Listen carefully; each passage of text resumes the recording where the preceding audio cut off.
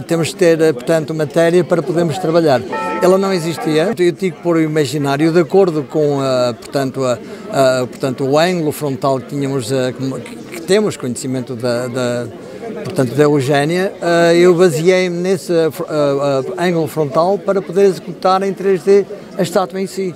No Alto do Coto, em Vidago, sítio que guarda o santuário dedicado a Eugénia Campilho Montalvão, juntaram-se dezenas de pessoas para inaugurar o busto da Santa de Vidago. Estamos aqui em Vidago com um orçamento participativo 2019 e com algum atraso, mas muito desse atraso deve-se naturalmente ao período da pandemia e ao que isso implicou no atraso da execução deste projeto. Ainda assim, eh, parece-me que esta iniciativa, que resultou de uma proposta do Sr. Germano Santos e do Paulo Santos, que são respectivamente pai e filho, foi teve um acolhimento não só uh, em Vidago, como também no Conselho, muito interessante, porque teve quase uma taxa de, de, de, recolheu uma taxa de votação muito próxima dos 90%.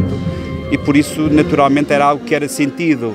E o que nós estamos aqui a fazer, para além disso, fazer democracia é também preservar a memória, porque hum, Eugénio Campilho foi no século, enfim, no século passado uma figura muito importante, com uma relevância muito importante na comunidade e pelas boas razões, pelo altruísmo, enfim, pela bondade, pela proximidade com os pobres. É isso que nós estamos a fazer. Ao mesmo tempo estamos a homenagear e uma atitude de justiça, mas também ao mesmo tempo a deixar aqui para os vindouros, para os mais jovens, um referencial de conduta e um referencial de atuação que naturalmente gostaríamos de poder ter nas novas gerações.